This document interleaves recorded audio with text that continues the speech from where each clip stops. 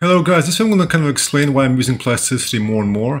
And real quick guys, want you know that I have a new course, Practical Sci-Fi Design. You will learn to effectively model inside of 3ds Max and plasticity, and then use V-Ray to create procedural materials. And all without leaving Max, you will learn how to do color correction, volume light, lens effects, and use V-Ray's decal system to create quick decals. So be sure to check that out in the description. So I've got these kinds of questions like, why using plasticity, you know, over Max or Blender or any other programs? Like, what's your fascination? Is it really that good? And I just figured I'd make a short video explaining why I like it. Now, first of all, guys, I don't use exclusively plasticity. I use Max, I use Blender, I use ZBrush, I use Samoai, and other programs as well. And I use all programs for different reasons. But when it comes to specifically hard surface modeling, like really uh, sharp, crisp details here, I like to use plasticity, and then if I want to make it into a film asset, I'll go into Max or Blender and kind of retopologize some things and fix it up some more. But obviously, I still use Max and Blender for orga more organic, and ZBrush for more organic assets and for rigging animation, guys. You have to understand that when I sing the praise of plasticity, it's just for like uh, hard surface modeling like this. And you know, if I'm making some more simple props, I mean, I can just stick in 3ds Max here. If I, if I make a little basic table, you know, I can I can do this in Max, and then I can go in here and just you know do some little some little uh, insets and some little extrudes and some little things here and there, and I can just use uh, you know support loops and get some little details here. So so there's a lot of details, guys, that I still of course model with polygons or with ZBrush. Uh, you know, specifically more ornamental details, uh, more like smooth details like this, or details that I, I, could make in plasticity, but I just don't want to spend the time retopologizing. So a lot of things, guys, I will still, of course, make here uh, with polygons. So it's not like I completely abandoned polygons. So I still very much like working with polygons. I still like taking advantage of the freeform nature for a lot of objects. I like being able just to kind of uh, move this and subdivide and get these kind of nice surfaces. But I'll give a reason why I really like plasticity here. So uh, the, way, the way I got this object right here was I pressed Shift A and I used the line tool just to create some uh, some random little panel here. All right, like that. And then I uh, selected that and I extruded it up. All right. And so one thing I really like about plasticity is some things that take a lot of hassle on the programs are just very easy in plasticity. So for example, if I want to do screen space cutting in plasticity, all I need to do is find the camera angle I like, press control space, and now I can now cut at this angle.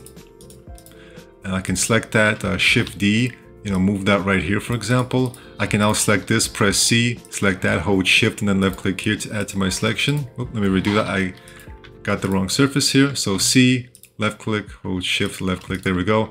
And now I can just delete this. And just like that, I'm left with this nice little panel detail. I also like plasticity because if I if there's a surface, I just want to cut away that surface. All I need to do is press C, select the surface, and bam, that is now cut away. It cannot be deleted, or it can be a GG and moved away to somewhere else. So that's a fantastic workflow right there. So that's what I did to get this right here. So I like the fact that I can just select this you know, select this and just uh, just delete that. Select this and just delete that, like no hassle.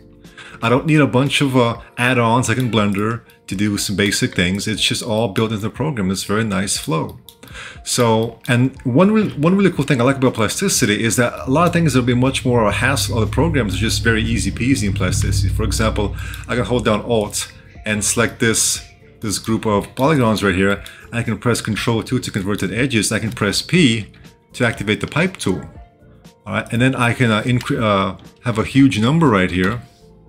You know, maybe even bigger than this. Let's say 800. And if you're wondering what's going on here, well, I can press Shift Q for the slice command.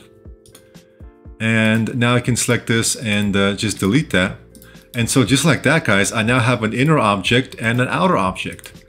And I can now just, you know, give this a color here, you know, give this maybe like a nice desaturated dark blue right here. I can select that and give it a little dark gray color. And just like that, I've got this really cool result. And now I can just select this, for example, and just press D to offset it, move it higher or lower. So I can get really cool details here. Right, and now I can easily do that again. Just press uh, Control Space. All right, Shift A. And uh, I can cut something out from here, for example.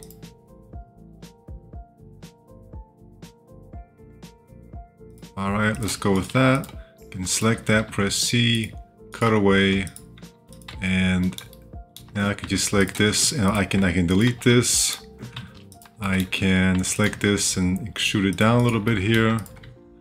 Uh, I can uh, reconnect them together. I can very easily select a face here. I can press R for rotate, V to set up a custom pivot, guys, just effortless setting up pivots. And I can kind of rotate uh, on the Z axis here, you know, to get really cool results. Same with this right here. You I can kind of rotate in this direction. There's really cool stuff right there. Very, very uh, nice built-in pivot system for doing various actions. And I can very, very easily select this and uh, just press Shift D to copy that out. Alright, and I can just SS to scale this for example. Alright, I can um, once again uh, control space, uh, Shift A to cut out a part of this. Alright.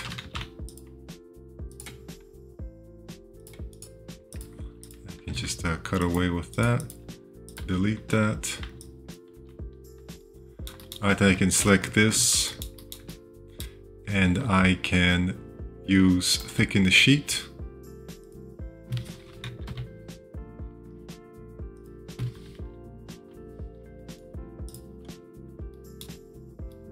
And then move this here and maybe a fillet right here. And then I can uh, combine these objects just like that. And I can easily do fillets as well.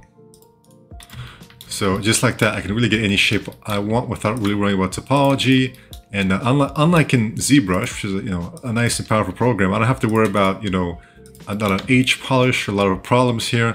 You know, there are occasionally some things you run into with plasticity, but I find that you can easily fix them. For example, if I select this edge and fillet, you can still get this strange problem here. But if I select this edge and fillet, you know, we can very easily solve problems.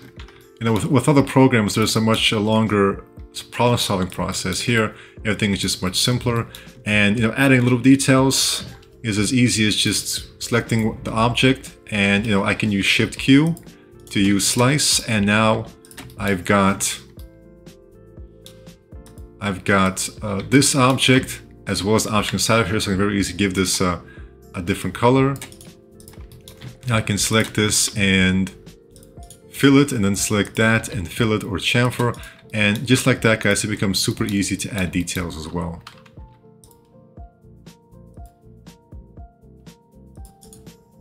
And I can even select all the faces and just R for rotate, V for the pivot point, and then I can just, you know, get a line to where I want it to be. So, you know, S for scale, V for pivot, right there, Z, I can make it wider like this, you know, just cut that away. I can make it shorter as well. Or I can just select the faces and just uh, D to move them to where I want them to be. So guys, just really nice options. Once again, I can select this R, V, right there, Z. So I hope you guys understand that I'm not just, uh, you know, saying something that's not really true about the program. I'm just having a lot of fun using it, you know? And even though there are programs that can do this as well, what makes Plasticity nice is its nice price and just the fact that it's made by somebody who takes advice from artists. You know, no other CAD program out there, whether it's Fusion or Rhino or anything, is just takes advice from regular just artists who just want to make cool sci-fi objects. You know, a lot of those programs are made for like, uh, you know, car manufacturing, and that's great and all. But what about for just artists who just want to make some cool things here? And so I think in the future, as plasticity gets more and more powerful, it will be able to do all those all those car things, all those you know real life manufacturing things. But it's also going to be really good for artists just to make all sorts of cool, uh, crisp, hard surface art here. So I just want you guys to understand that uh, you know I'm not I'm not being paid for saying any of this. Um, if you do get if you do get paid money for sponsoring, then you have to legally disclose it. You know, I have to tell you at the beginning of the video, I'm being paid to do this. And you guys have seen my sponsored videos, I always tell at the beginning that I'm being paid. Uh, I'm not being paid to use plasticity. I'm just generally enjoying it. And, uh, it really helps that the creator of the program, Nick Kallen, actually talked with me and I gave him a lot of advice about what we as artists want. And he actually incorporated a lot of those features that you see in plasticity. So some of the things you see in plasticity, guys, are because uh, I asked for them. And that's amazing. That's really cool. So I will continue to support uh, developers who actually listen to what the artists want. So that's some of the reasons why I'm using plasticity more and more. And that's why I'm kind of uh, putting in a lot of my courses. I got the plasticity modeling guide.